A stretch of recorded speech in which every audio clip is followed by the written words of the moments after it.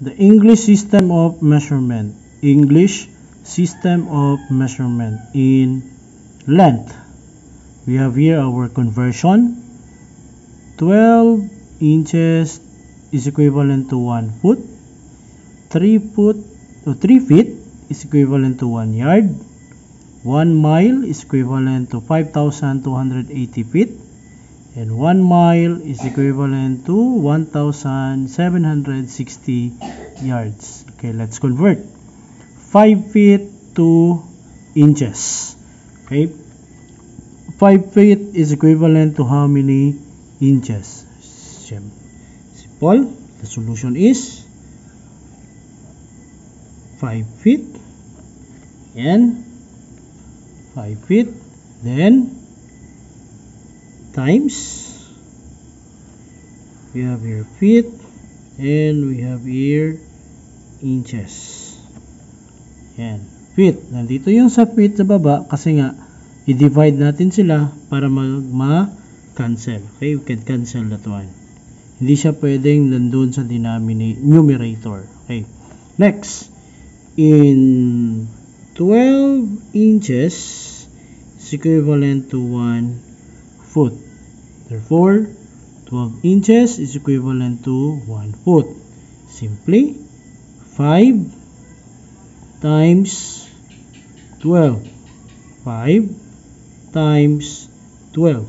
We have here 5 times 12 is 60 inches over 1 then 60 divided by 1 is 60 inches. Or 5 feet is 60 inches. Next 5 15 feet into yards. Okay 15 feet into yards. Okay.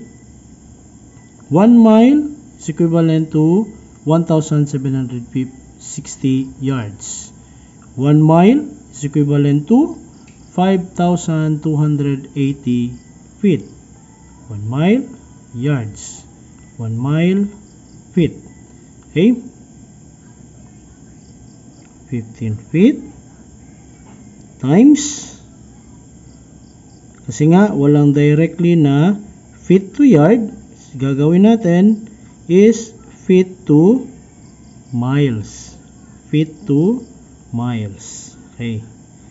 You have your feet and then miles. Ayan.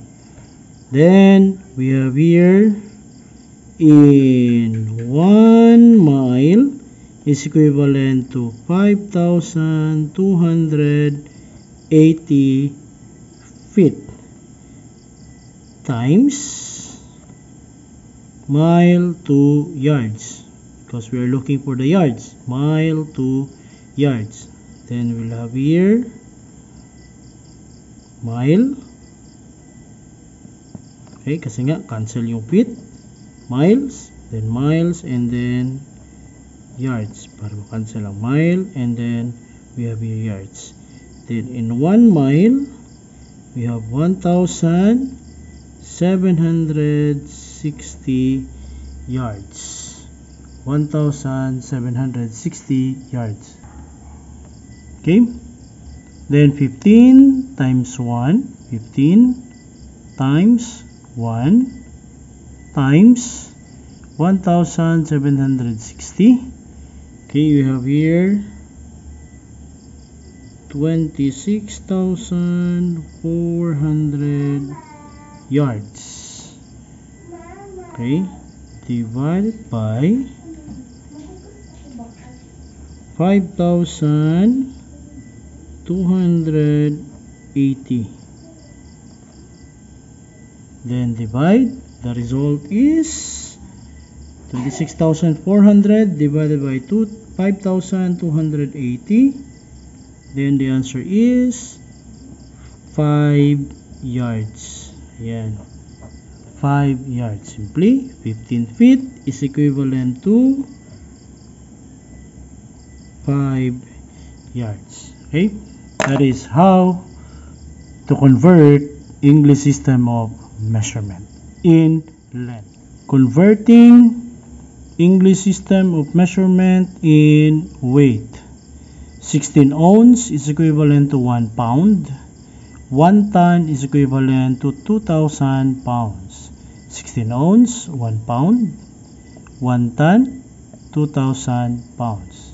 Convert 2.5 pounds is equivalent to how many ounce? Simply 2.5 pounds times okay times you have here pounds pounds and then ounce.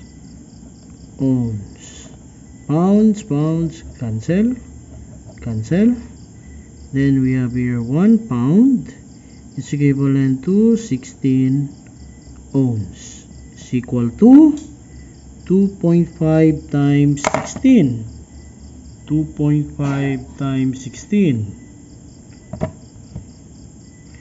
2.5 times 16 you have here 40 ounce. 40 ounce therefore 2.5 pounds is equivalent to 40 ounce. 40 ounce. Next. 2000 uh, number 2 is 10,000 pounds is equivalent to how many tons? Pounds tons 10,000 pounds times pounds and tons. Cancel. 1 pound is 2000 oh sorry 1 ton 2000 pounds. Ayan. 1 ton is 2000 pounds. Then you have 10,000 tons divide 2000 then the result is 5 tons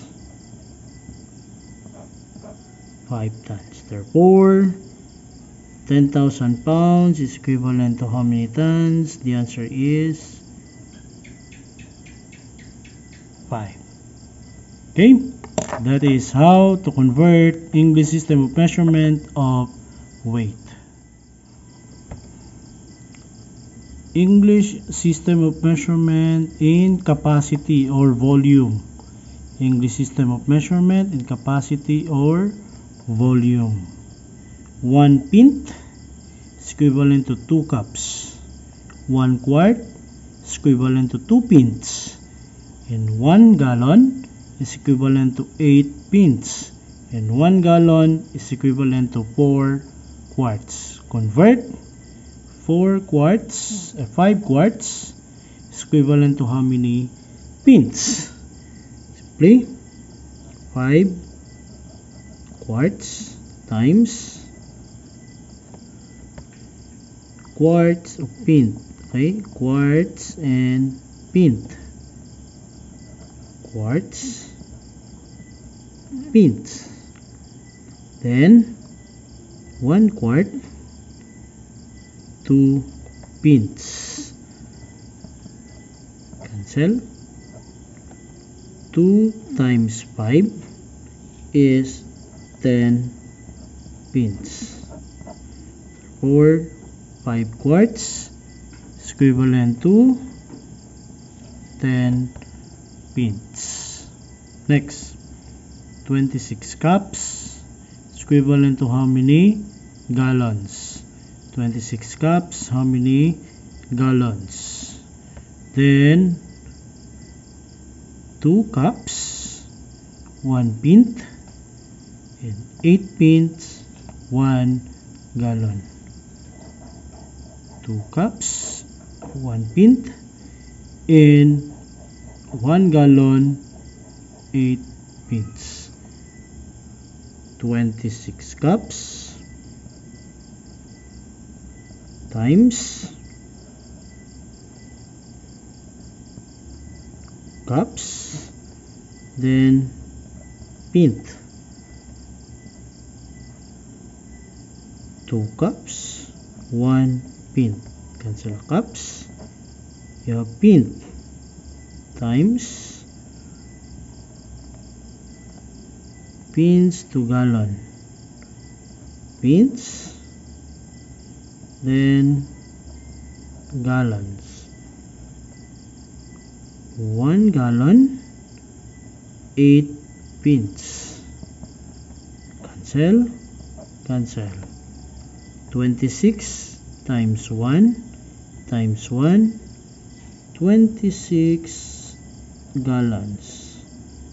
Over 2 times 8 2 times 8 you have here 16 and 26 divided by 16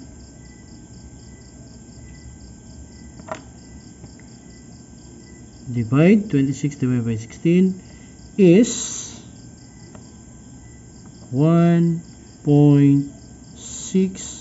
1.625 gallons.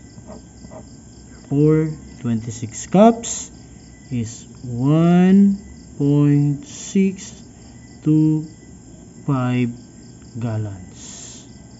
Okay? And that is how to convert English system of measurement for the capacity or volume